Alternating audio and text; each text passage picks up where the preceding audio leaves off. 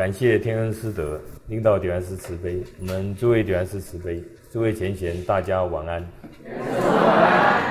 今天是我们新的课程的开始，我们领导点燃师慈悲啊，希望我们大家一起来研究这个《金刚般若波罗蜜经》这部经呢，也可以说是后学修道的一个启蒙的经典。后学在读高中的时候，那时候迷上了中国武术啊。练武啊，看武侠小说了。然后有一次呢，在报纸看到一则广告，上面写着“付回游二十元即记达摩易筋经”。哇，我想这达摩易筋经是武林绝学啊！啊，得到这部经，我可以变成绝代高手啊！二十块钱就可以了，很便宜啊！赶快付了回游，结果大概是他们那部经已经送完了，所以就给我寄来一本新经。这是第一次接触到经典。哎，这个这个心经啊，这后学拿到手就爱不释手。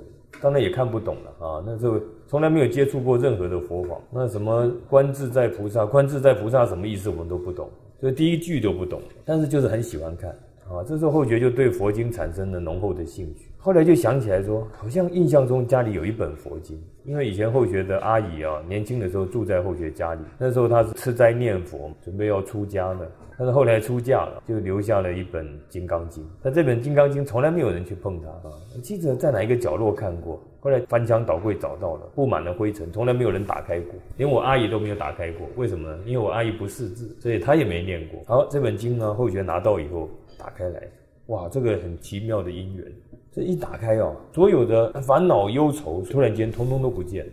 后学在年少的时候啊，得了忧郁症，内心有很多的烦恼啦、忧愁了啊，人生观都是非常的悲观、绝望啊，被这种灰色的思想、负面的情绪啊，是整个的好像作茧自缚啊，包得紧紧的。然后这个《金刚经》打开呢，一看一念，哦，所有的烦恼、忧愁，所有负面的东西，就突然间通通都不见了。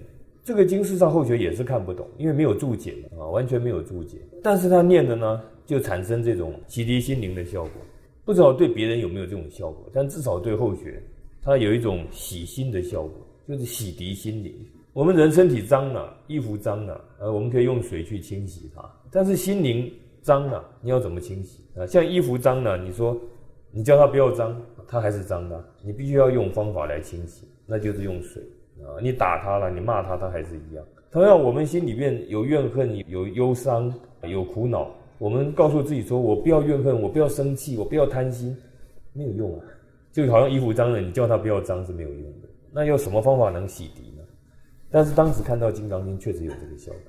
读着读着，心中的这些负面的东西都不见了啊！不只是说不好的思想、负面的思想和情绪不见了，甚至连七情六欲啊都消失了。所谓养心莫大乎寡欲嘛啊，七情六欲都消失。所以那个时候常常在一种。欢喜之中，放学回来也不看电视，就一直看这个《金刚经》，看到三更半夜还在看，有时候看整晚，看到天亮也不觉得疲惫。所以这个是后学跟《金刚经》啊结的一段缘。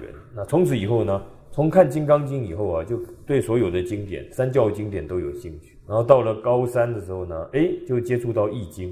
那接触到《易经》以前就已经。开始在读《道德经》了，但是都是从《金刚经》入门，《金刚经》可以说是后学进入经典的世界的一个敲门砖。那为什么呢？并不是我了解里面的义理啊等等的，根本就不懂嘛，因为那个原文的也从来没有接近过、接触过任何的佛学。但是它就是震撼你的心灵，抽丝剥茧啊，把这个心灵的重重的障碍啊，通通都消除，这是非常神奇的一个体验，所以终身难忘，永远都没办法忘记少年时期读《金刚经》的一个经验。《金刚经》呢，它的全名是《金刚般若波罗蜜经》。这“金刚”是什么意思呢？就是不坏不灭的意思。它用金刚来譬喻呢，不坏不灭。我们世间任何的东西啊，都会被破坏，都会毁灭。其实就算金刚啊，也是可以毁灭的，你也是可以把它溶解掉的。钢再硬啊，熔点高的时候，还是还是可以可以把它溶解掉的。但它用来譬喻在当时，当时那个时代，几千年前啊，金刚就是最坚硬的，经过几千万年、几亿年都不会变化的啊。其实还是会变化，但是用这个来譬喻，它不坏不灭。只要是有形有相的东西啊，就算是金刚，它还是会坏啊，还会灭的。但是这边讲的是真正不坏不灭，不会被破坏，也不会被毁灭的东西。叫金刚，那什么东西不坏不灭呢？我们的肉体一定会毁坏，房子像万里长城也可以被这个摧毁掉。那所有的世间一切有形有相的东西，终归于无啊，有归于无嘛，一定会走向破坏毁灭这条路。所以在印度教啊，印度教他们最敬畏的神呢，就是破坏神，就是主掌破坏的啊，死神，这样非常敬畏他。啊，就是他要发动的时候，因为破坏是必然会发生的事情，创造不一定会发生，但是破坏是一定会发生。你不一定会生孩子，但生的孩子将来一定会死，那是一定会发生。但是天地宇宙之间真的有东西不会毁灭吗？就是波折，就是智慧，叫波折。波折就是妙智慧，这个是不会毁灭的，就是我们的灵性。那我们说，哎，我们灵性为什么叫波折呢？因为灵性充满了智慧，所以叫做波折。灵性不是一个空洞的东西啊。它虽然无形无相，可是它充满了智慧。那这个般若灵性，因为它无形无相，但是它存在啊。心灵是不是存在的？存在的。智慧也是存在的。可是智慧长什么样子？没有形象。心灵长什么样子？没有形象。有形有相的东西都会毁灭，无形无相的东西会不会毁灭？你没办法毁灭它，没有对象可以毁灭。所以它是金刚啊，它不会坏灭的。它是大智慧。然后这个大智慧呢，也不假外求，就是我们的本性。本质具足的，不用向外去寻找。所以这个世间呢，有不会毁灭的东西，永恒的东西，那是我们最要重视的啊，就是我们的般若妙智，我们的妙智慧。你要去找寻找它，像儒家也讲要致良知嘛，就是要找到这个般若妙智，这个妙智慧啊。那妙智慧是无形无相的，所以只有当你超脱物外的时候，妙智慧才会流露出来。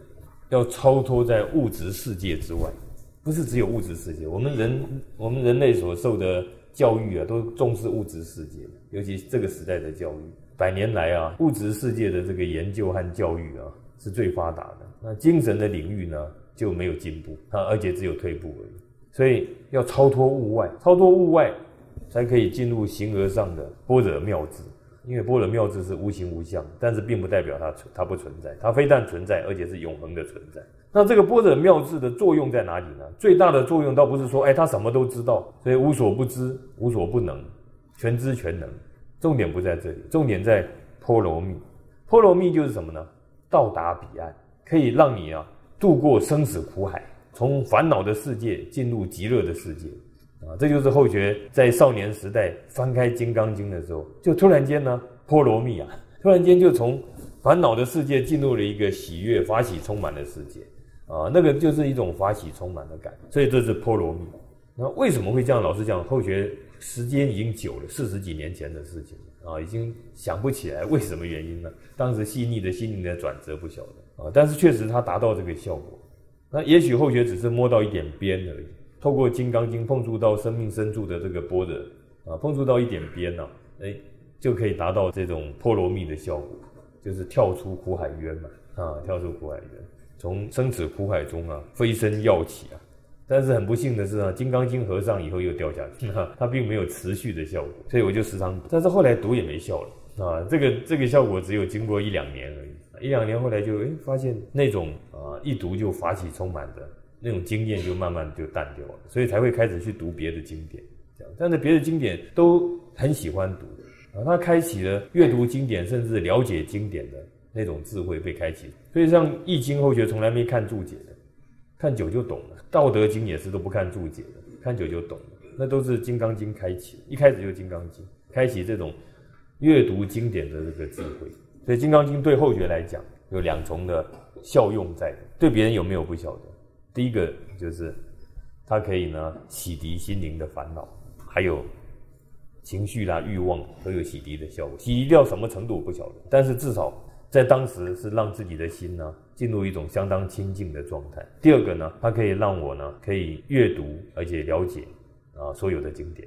所以后学读经呢一直没有被各方各家的注解啊所束缚住，原因就在这里。可以说，哎，用自己的体悟，加上生活上的体验，加上观察，然后常常会有一些大家可能会认为比别出心裁的诠释啊。基本上这个都是来自于《金刚经》这个源头，这个所谓的活水源头啊。所以这是波罗蜜。好，所以这部经的重点出来了，就是我们阅读这部经，你要获得那个永恒的、不灭的、不会被破坏的大智慧，然后用这个大智慧呢，可以度过生死苦海。到达清净的光明的彼岸。这就是研究这部经典呢的宗旨和目的。那